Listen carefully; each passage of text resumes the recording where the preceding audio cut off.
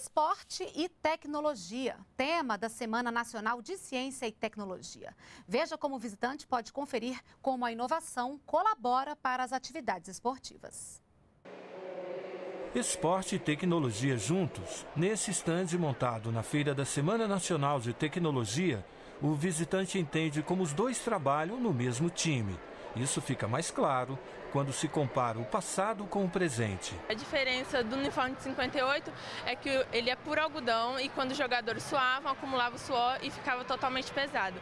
Já o de 2013, da Copa das Confederações, foram criadas tecnologias diferentes que são duas camadas. A de dentro absorve o suor e a de fora mantém a temperatura do corpo ambiente. O visitante também aprende como funciona o corpo humano e como se dá o desenvolvimento dos músculos. E para quem preferir, pode testar a força. É possível ter uma aula sobre quais líquidos podem ajudar na reposição de energia.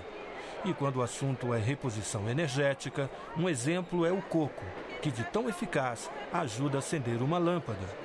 O professor trouxe os alunos. Aqui você mostra na prática, eles começam a entender mais. Ah, é assim que funciona então. Também há espaço para esportes que exigem concentração e raciocínio.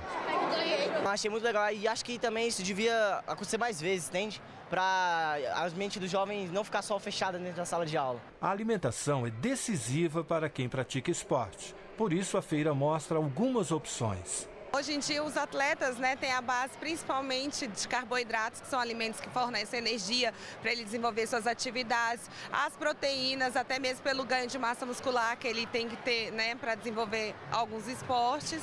E mais assim, frutas e verduras também que são responsáveis pelo sistema imunológico do atleta, para que ele não para que ele tenha um bom rendimento.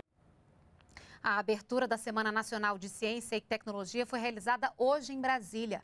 O evento ocorre em cerca de 800 municípios brasileiros. Só na capital do país são 294 expositores.